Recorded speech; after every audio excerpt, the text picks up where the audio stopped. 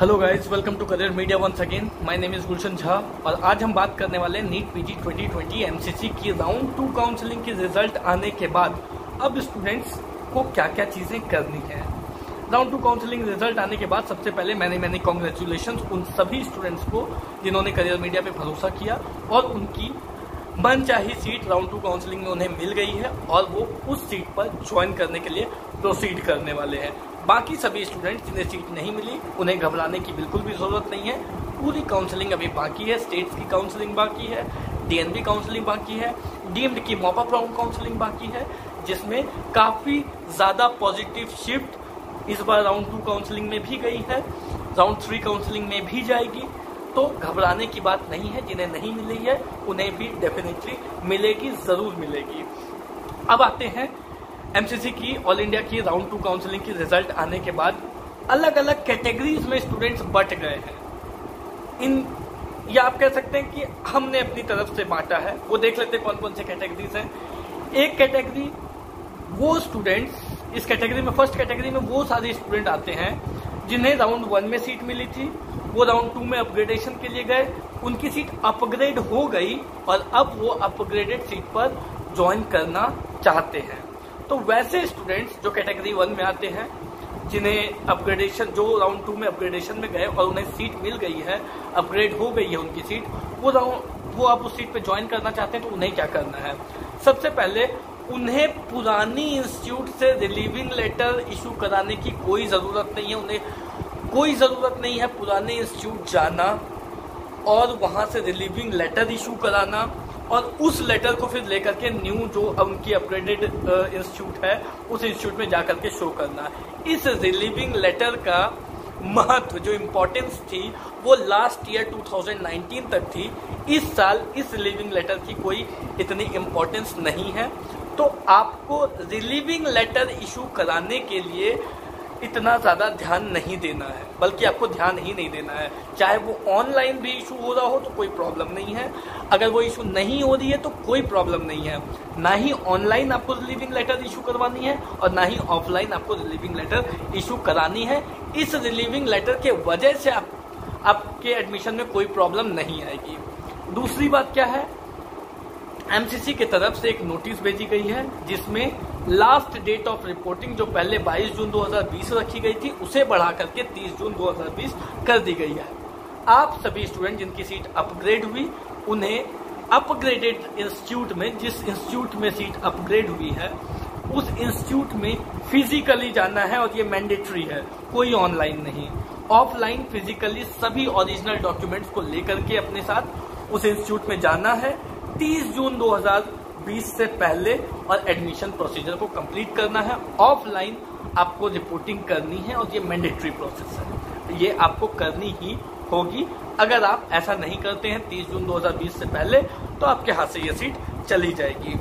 अब बात है कि क्या क्या डॉक्यूमेंट्स लेकर के जाना है तो डॉक्यूमेंट्स के लिए आप इंस्ट्रक्शंस को फॉलो करें या फिर आपको करना क्या है कि आपको जिस इंस्टीट्यूट में आपको सीट मिली है, उस इंस्टीट्यूट का ईमेल आईडी है उस इंस्टीट्यूट का नोड, के नोडल ऑफिसर का नंबर है और उस इंस्टीट्यूट का वेबसाइट दिया गया है।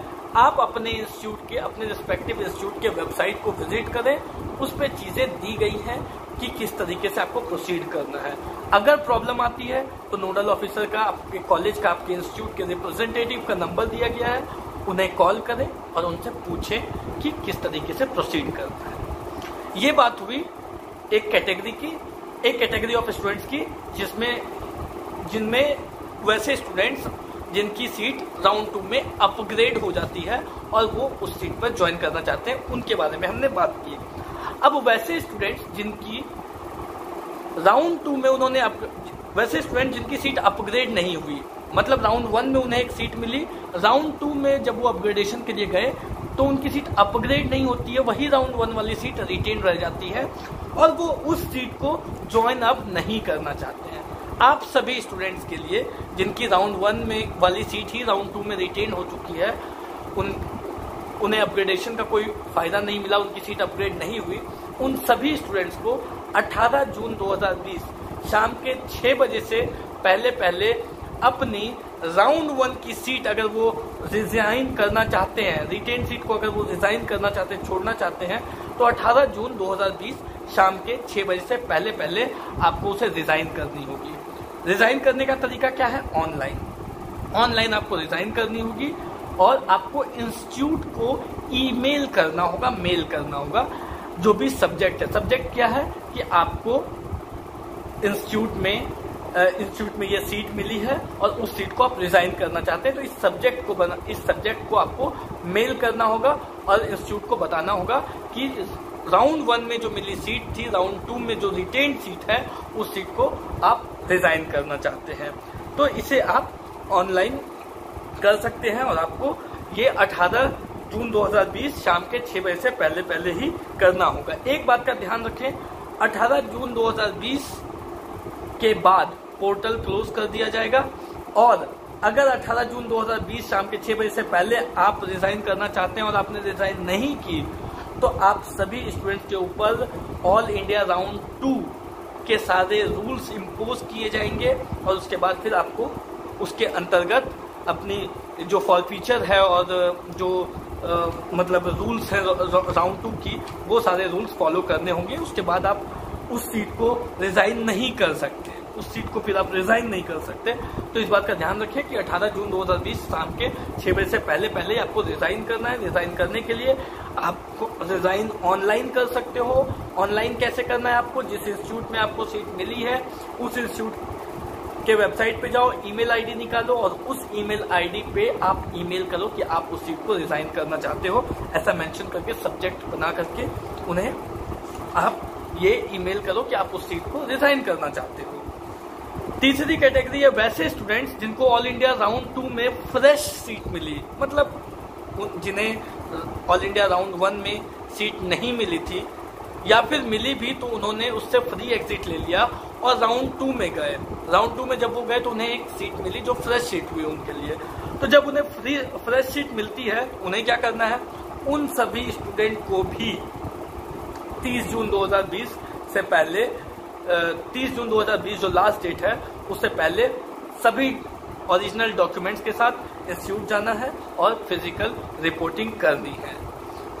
इनमें इनमें वो सभी स्टूडेंट्स होंगे जो जिन जो राउंड टू में जिन्हें फ्रेश सीट्स मिली और साथ में जो जिन्हें राउंड वन की सीट रिटेन हुई है, अगर वो ज्वाइन करना चाहते हैं तो भी वो स्टूडेंट्स भी जाकर के उन्हें भी फ़िज़िकल रिपोर्टिंग करनी होगी।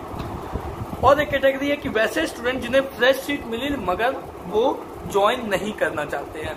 अगर आपको राउंड टू में फ्रेश सीट मिली और आप for future for future rule से वाकिफ हैं और आप उसे ज्वाइन नहीं करना चाहते हैं तो आप सभी को वैसा कुछ भी करने की ज़रूरत नहीं है।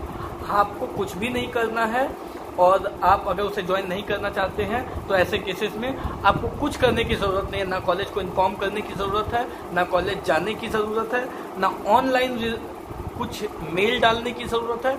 आपको कुछ भी नहीं करना है, आपको रिपोर्टिंग ही नहीं करना है।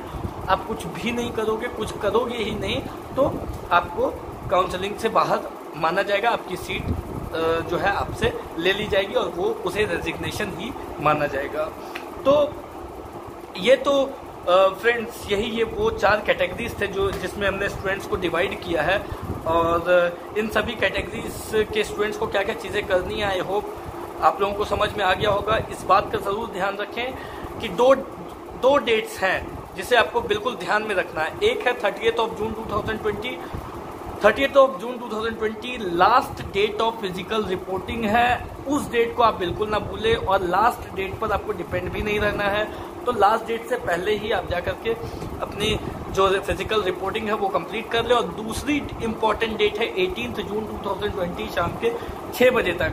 अगर आपकी सीट रिटेन्ड हुई है राउंड टू में, वो सेम सीट रिटेन हुई जो आपको राउंड वन में सीट मिली है और उस सीट को आप छोड़ना चाहते हैं तो ये आप 18 जून 2020 शाम के 6 बजे से पहले ही आप उस सीट को छोड़ सकते हैं अदरवाइज़ उसके बाद आप सीट को नहीं छोड़ पाएँगे। तो ये दो डेट आप बिल्कुल ध्यान में रखें। और इसके अकॉर्डिंग ही आप आगे चले। बाकी आप सभी स्टूडेंट्स को करियर मीडिया की तरफ़ से all the best best of luck for your future उन सभी स्टूडेंट्स जिनको सीट मिल चुकी है और जिनको सीट नहीं मिली है, वो कॉल कर सकते हैं, पूछ सकते हैं, अपने डाउट्स को क्लियर कर सकते हैं और आप सभी स्टूडेंट्स आगे आपकी क्या स्ट्रेटजीज हो सकती है या रहनी चाहिए, उसे लेकर के आप हमसे दिए गए नंबर पे कॉल कर सकते हैं, जिसमें हम आपसे आपकी स्ट्रेटजीज को लेकर के आगे बात कर सकते हैं, हमसे हमारी गाइडेंस भी आप ले सकते हैं पेड काउंसलिंग के लिए दिए गए नंबर पे कॉल कर सकते हैं आप। तो इस वीडियो में फ़िलहाल इतना ही नेक्स्ट वीडियो में कुछ और अपडेट्स के साथ मैं गुलशन जहाँ हाजिर हूँ तब तक के लिए have a nice day thank you so much